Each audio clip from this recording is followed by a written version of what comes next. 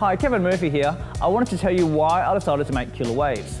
Now curl is the new cool girls calling card and natural texture is seen on every runway. No two heads of hair are the same and often wavy head people use multiple products at various times. So the idea that one size fits all or something for all hair types doesn't really work in these days of individuality and personalisation.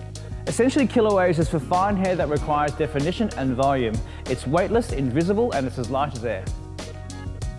It's for people who want to enhance their waves with no visible signs of product for that natural lived-in look.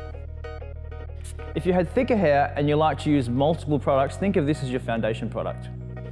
This would be the product that you'd put on first to build some volume to activate your waves.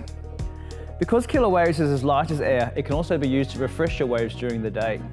Tripeptides from eyelash thickening and lengthening technology makes the hair stronger and feel thicker we added baobab seed extracts that nourish, condition and reduces frizz.